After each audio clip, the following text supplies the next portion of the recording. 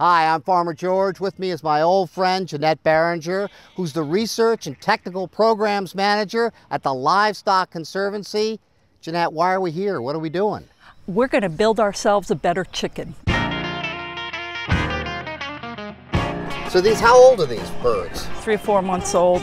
And so they're at a perfect age to start making decisions on which ones you're going to put in the stew pot and which ones you're going to keep as breeders. And um, the first thing that you notice about these two animals, even though they're the same age, this one is quite quite larger than this one.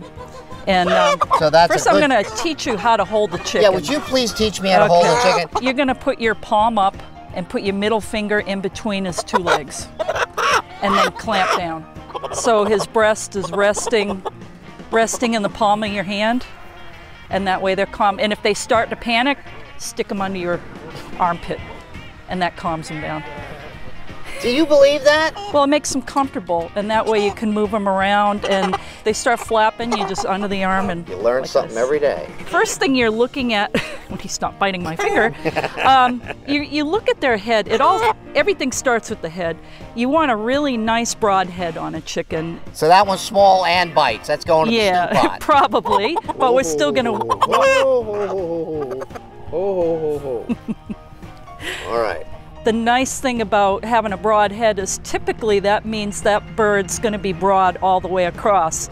A broad chicken has a, a lot of uh, things going for it, you know, more meat and, and more capacity to be productive. So we start looking at, you know, broad head.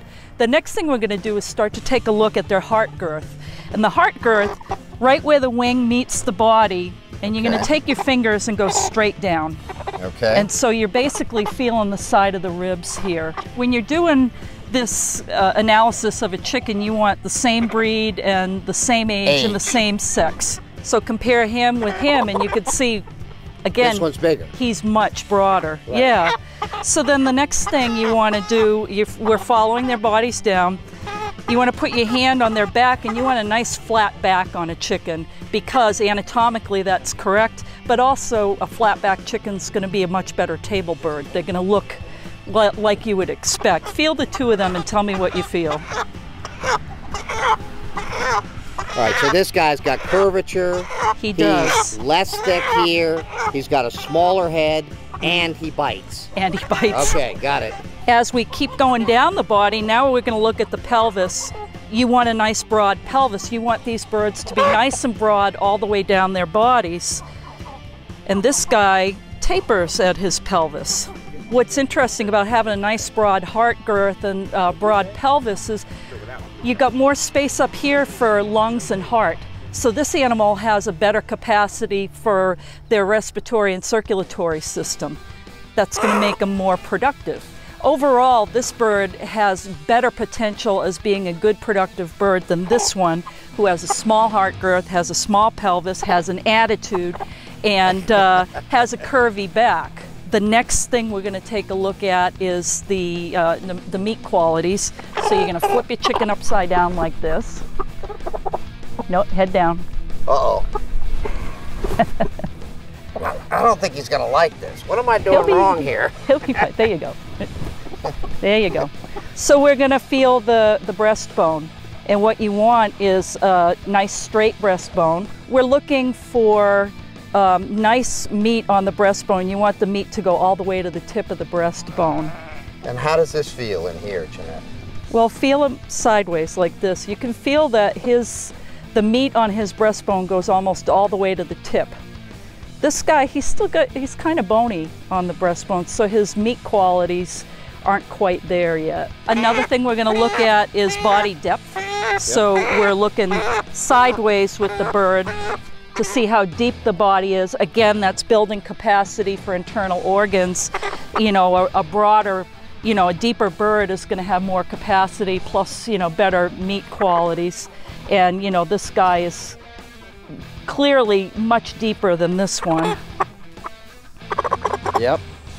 Hey, you're going to go in the stew pot sooner than later, buddy. Now, the next thing we're going to look at is egg laying capacity. And yes, these are boys, they're not laying eggs, but they can pass on egg laying qualities to their daughters.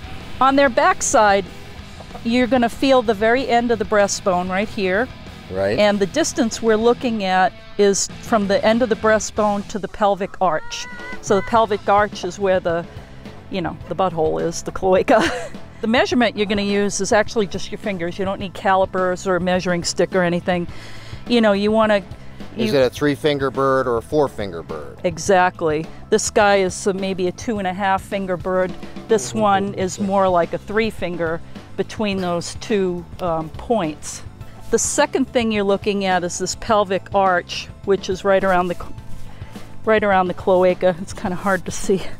It's a bone that when you feel it, you can feel it's like this. Yep. What you want is a bone that's nice and straight and not bent in like this. It can cause the bird to have a hard time laying an egg. It's Right. pinched. Right. So you want nice straight bones and you want nice width between the bones. So this guy, his bones are a little bit curved in, which isn't ideal, but this guy is really curved in. You don't want an egg bound chicken that's gonna, you know, that's potentially deadly for a hen. So, not a good thing to pass on to his But now, is this bird good enough to breed? Or would you still be looking for even a better bird than this for this flock? that depends on how he compares to the others. So now he is going to be the standard from which you're going to judge, Judge. the other birds. And so you're comparing all the birds, again, same sex, same age, and whichever ones come on top. I like to save two, sometimes three roosters because you never know if a hawk gets something or, Right. you know, you want to keep two or three just if they're peaceful birds. So, Jeannette, does uh, beauty uh, enter into the uh, equation as far as picking uh, picking chickens?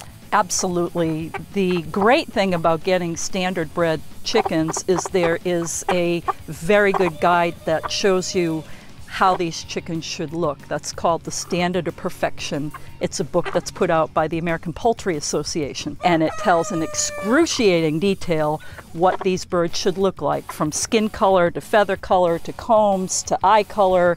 You name it, they describe it in there, and that's the gold standard for which these animals are judged. How important is it for the backyard chicken grower? Let's say you get a flock of 25 baby birds and they're delivered to you. How important is it for them to select the proper chickens to keep and call the ones that are no good? I think it's just as important as if somebody is uh, doing hundreds of birds. You know, you want to keep the best for your breeding stock, and you always want to be assessing the birds. Like I have a flock at my house that I've maintained for 10 years, and I tell my daughter, don't fall in love, you know, because you never know if the guys that made the cut last year are going to make the cut this year. We're always assessing and improving. And the nice thing is, after a number of years, when you go outside and look at your flock, you've got consistency, you've got beauty, you've got productivity, and it doesn't happen overnight. It takes time. You're not doing the breed any service by keeping birds that are uh, not meeting breed standard and are not productive. Typically, your top 10, maybe 20% are meant to be breeders, and then the rest of the birds are meant to be eaten. They're chickens. You eat chickens. Hard for me to eat this one, Jeannette. Yeah. so putting chickens down. Oh, okay. Okay. Now, now that I've learned to pick chickens up, middle finger between, I either side, make them feel secure. How do I put them down? You just put them down carefully. You you don't drop them. Right. Wow, pretty good. And to sum it all up, here are the five steps to breed a better chicken. Number one, choose two chickens that are of the same age. Number two, measure the bird's broadness from head to tail. Number three, compare egg laying capacity. Number four, assess the bird's aesthetic features and physical beauty. And finally, number five, keep the top 10 to 20% for breeding and into the stew pot with the rest.